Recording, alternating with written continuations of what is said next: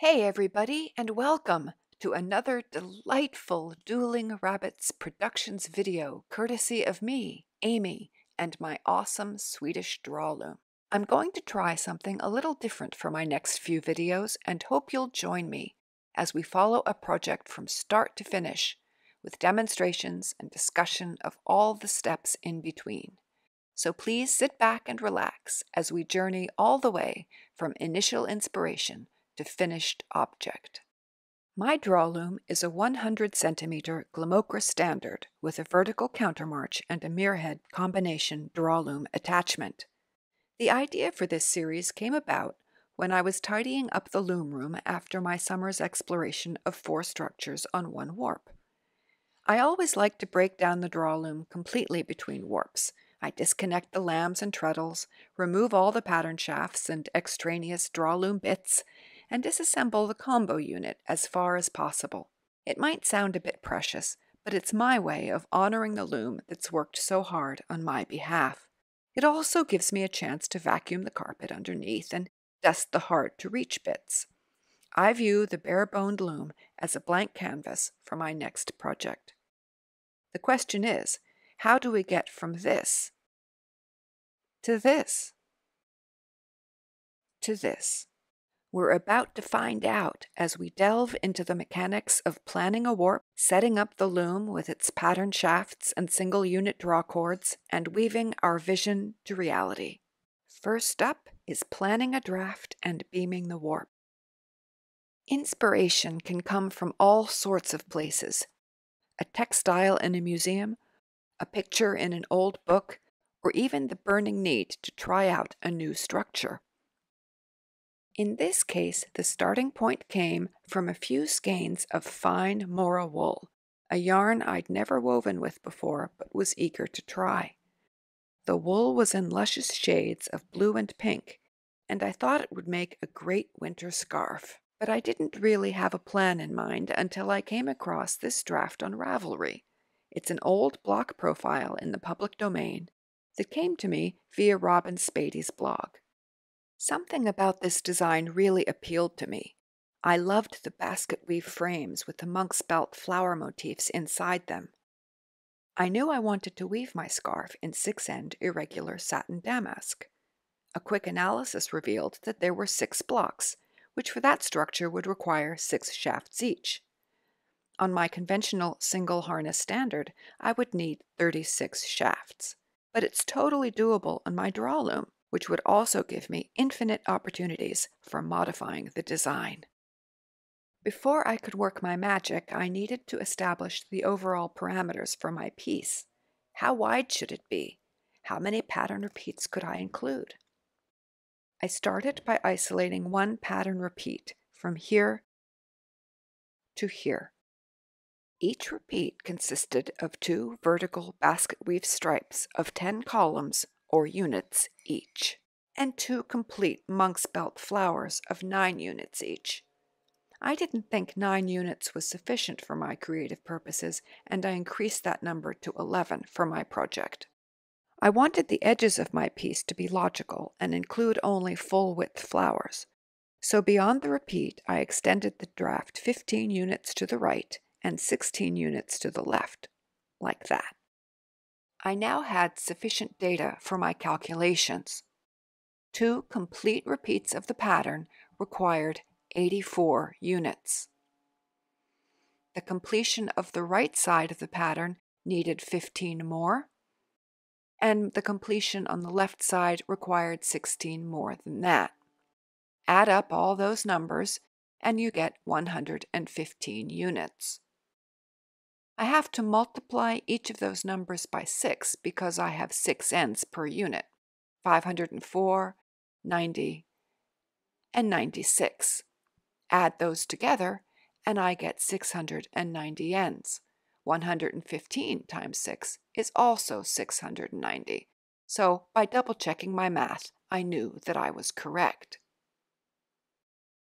At 40 ends per inch, 690 ends gives me 17.25 inches in the reed, which is fairly close to my desired width of 18 inches for a good scarf. I also reasoned that I was estimating at too close a set, and would likely be resleying my reed and weaving a wider piece as a result. This suspicion was borne out later on.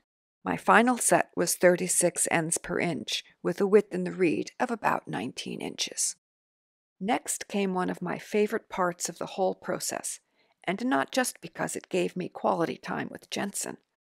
Got my laptop, opened up Fiberworks, and set to work designing my draft and pattern shaft configuration. Here's the first iteration of my drawdown, showing the original profile adapted for 115 units. In this case, the black squares in the threading box represent the six thread leashes on their pattern shafts. First, I tackled the vertical basket weave stripes, since I knew they would be repeated and unchanged throughout the piece. I threaded these on the four pattern shafts at the front of the loom. This gave me an efficient, if inflexible, setup for weaving these repetitive figures. Next, I had to figure out how to configure the pattern shafts for the rest of the design. I immediately saw that the draw loom would allow me to change up those monk's belt flowers into any design I wanted, given whatever parameters I set myself. Since I consider my loom to be a pattern shaft draw loom primarily, and I enjoy weaving symmetrical motifs, I decided to set those flowers in repeated point formation on six additional pattern shafts. This would allow me to weave the profile as written, and also to change up those motifs into different symmetrical designs as the mood took me. But that still seemed a little too repetitious, and barely scratched the surface of my draw loom's remarkable capabilities. Why not allow myself different motifs in the same row, say two out of the five squares? With all these units on the same pattern shafts, that would not be possible.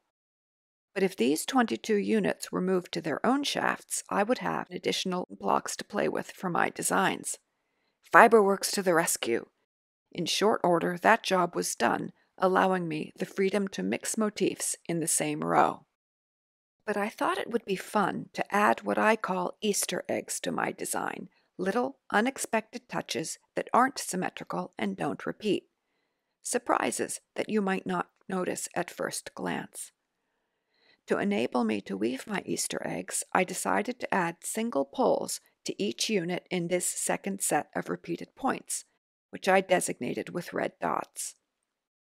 This gave me a lot of flexibility within the efficient shaft draw setup.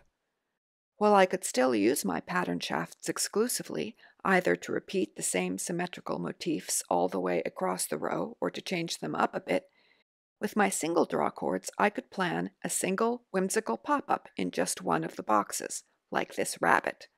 I could use the second set of draw cords to echo the symmetrical motif in the rest of the row if I wished. I could use both sets of draw cords for Easter eggs such as this fox and dog, or my initials at the bottom of the piece. The three remaining motifs on their pattern shafts must always be identical, symmetrical designs. By combining this variety of pattern shaft threadings with single unit draw cords, my draw loom enabled me to go from this to this a complex design with lots of interesting things to look at and weave. I had a lot of fun imagining all the different motifs, especially the Easter eggs, which were inspired by all the little critters we most commonly see in our backyard. Now that my design was at least partly resolved, I was almost ready to wind my warp. First, I needed to do a little more math to see how long it could be. One skein of Mora yarn consists of about 950 meters. I had three of them for a grand total of 2,850. 690 ends, 4 meters each, comes to a total of 2,760 meters. That number's less than what I had, so I figured I was good to go. My three skeins of yarn enabled me to hold three threads in my hand while winding, making a 3 by 3 cross quick and efficient work. I like this arrangement for six end satin. It helps enormously when threading the heddles and catching mistakes. I was also delighted to discover that, for once, my math was correct. On my 4 meter warp, I had just enough left over for sampling and for repairing any ends that might break during weaving. I chained off my two bouts and prepared the loom for beaming. At this juncture, I really need to point out that there are as many ways to warp a loom as there are weavers. This is the method I use. I adapted it from the traditional Swedish back to front approach I learned way back when, and have seen no need to change it since it works for me. It involves rough sleying a reed at the back of the loom and transferring the lee sticks to the back beam before winding on. Let's switch to the present tense and get to it. Here is the loom prepared for beaming. We're standing at the back. You can see I've taken two unbelievably long boards and rested them across the top of the beater and the back beam. The reed I will be rough sleying is laid across them. Behind the reed are my lee sticks, which have been threaded through the crosses on my two bouts and secured to the long boards. The bouts have been unchained a bit, although their choke ties are still on, and secured in the beater. The other ends disappear into a box on the floor at the front of the loom. Nothing for it now but to remove the choke ties at the crosses and start rough sleying. I've marked all my reeds at the center point so I can easily measure side to side and confirm I am threading where I need to. Here we are part way along, Given the reed at my disposal, I had to do some tricks with empty dents, but you can see it's coming along nicely. I really like using a reed for spreading my warp rather than a rattle, but I know lots of weavers who use a rattle with great results. I've tried both methods and personally like the process of getting my warp ends just so, and find this part of the process doesn't take nearly as long as one might imagine. Mm, dum dum dum dum dum dum dum. When I'm done, I get out my trusty tape measure and make sure the width in the reed is as expected. It is! Hooray! On to the next step. At this point, I need to get my warp loops onto the tie-on bar that I'll attach to the warp beam. I lay that across my support sticks and match up the center mark with the center mark on the reed. To make things simple, I've also marked where the cords for the warp beam will go. Now all I have to do is flip the reed over, then thread the bar through the loops of the warp, pausing only to slip on the attachment cords where the marks show me they are needed. When I'm done, I like to examine all the loops carefully to make sure none is on the wrong side of the lee sticks or missing from the tie-on bar. That all looks pretty good to me. So now it's time to tension the warp. You can see that the bouts travel through the beater over the breast beam, under the footrest, and over the top of the trapeze. I love my trapeze more than I can say.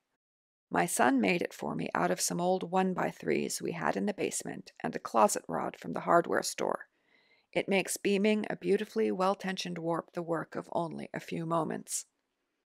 I like a three pound workout weight on each bout, regardless of the yarn I'm using. I just adjust the size of the bouts to accommodate. So now that the warp is tensioned, we are ready to remove the supports so we can move the lee sticks to their place behind the reed. I tighten the ratchet on the warp beam and spread the warp out over the tie-on rod to get rid of the worst crosses and overlap. I flip the reed back so it's no longer resting on the lee sticks. I untie the lee sticks and remove the supports from the setup. I couldn't do that and film at the same time since the draw loom is shoehorned into such a small space, but you can see the aftermath of the kerfuffle here. The reed is hanging free, supported only by the tensioned warp. The lee sticks are also unsecured and ready for their adventure. Since the rearmost lee stick is in the same configuration at the cross as the tie-on rod, I can remove it with no ill effects. Nonetheless, I usually hold my breath as I do so. Eek! Now I turn the remaining lee stick onto its side and smush it up against the reed. This gives me a duplicate shed into which to slide the first stick. It's now behind the reed where it belongs. I check to make sure nothing is untoward and breathe a sigh of relief. Now I can safely remove the second stick. I turn the tie-on rod on its side to make a shed and insert the second stick. Hey presto, the cross has been transferred, so now it's behind the reed. It's pretty cool how it works. Before anything bad can happen, I tie the leaf sticks back together and stand back to admire my handiwork. Next, I move the reed forward to place it in the beater. Apart from the fact that the journey is several miles to the front of the loom, this usually goes without too much of a hitch. A certain amount of finessing is required because the reed is wider than the superstructure of my loom, but with a bit of finagling we get there in the end.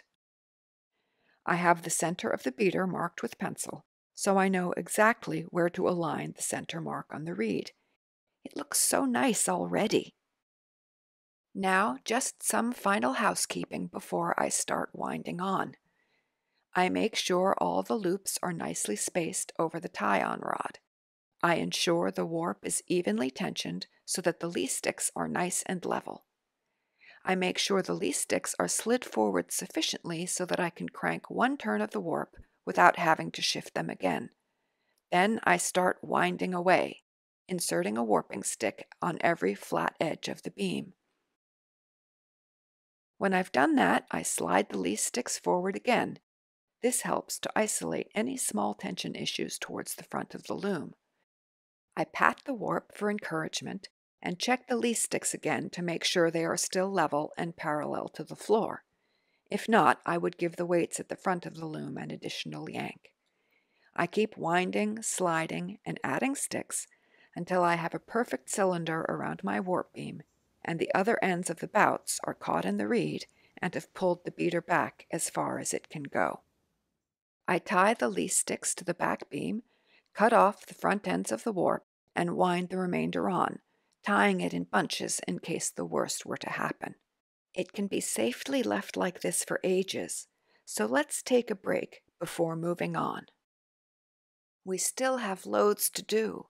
In my next few videos, we'll be threading the heddles with an ingenious hybrid strategy, distributing the pattern shafts, installing the single unit draw cords, tying up the treadles, fine tuning the shed, and weaving. I hope you'll join me.